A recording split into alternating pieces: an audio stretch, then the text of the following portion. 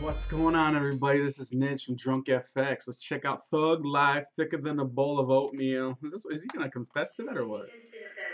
The state had the defendant on tape selling marijuana to an un- a female undercover police officer on several different occasions. Oh, he had no problem whatsoever hitting on the undercover officer on the audio tape, trying to pick her up and saying, "Girl, you're thicker than a bowl of oatmeal." I just wanna fuck bad bitches. All the nights I never had bitches. Now I'm all up in that ass, bitches. thicker than a bowl of oatmeal? Hey, hey, she had a fat ass, you know? Shoot, you thicker than a bowl of oatmeal, girl. Damn, I'm gonna try that one. See if my light skin gets away with that.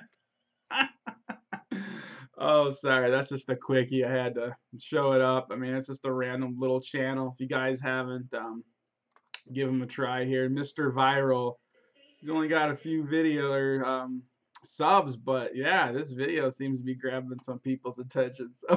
So if you like me, go ahead and subscribe to me or check out the rest of my stuff first before you make that decision, just to make sure it's your cup of tea. You know, this is Nidge. I'm out.